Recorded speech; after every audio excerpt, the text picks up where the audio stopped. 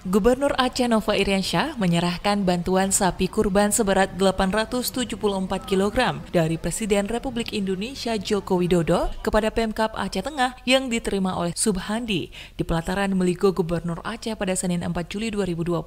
Sapi kurban itu akan disembelih pada Hari Raya Idul Adha 1443 Hijriah. Kepala Dinas Peternakan Aceh Zal Zufran menyampaikan di tahun 2022 Kabupaten Aceh Tengah yang terpilih sebagai penerima sapi kurban Idul Adha dari Presiden Republik Republik Indonesia Joko Widodo. Sapi jantan itu nantinya akan disembelih di Kecamatan Bintang dan dagingnya akan dibagikan kepada warga setempat. Sementara itu, Sekretaris Kabupaten Aceh Tengah Subhandi mengaku sangat berterima kasih kepada Presiden Republik Indonesia dan Gubernur Aceh yang sudah memilih Kabupaten Aceh Tengah sebagai penerima sapi kurban Presiden Republik Indonesia pada Idul Adha tahun ini. Sapi kurban pemberian Presiden Republik Indonesia, kata Subhandi, pastinya akan mendapatkan perhatian dan animo besar dari masyarakat setempat yang merasa senang dengan pemberian sapi kurban itu.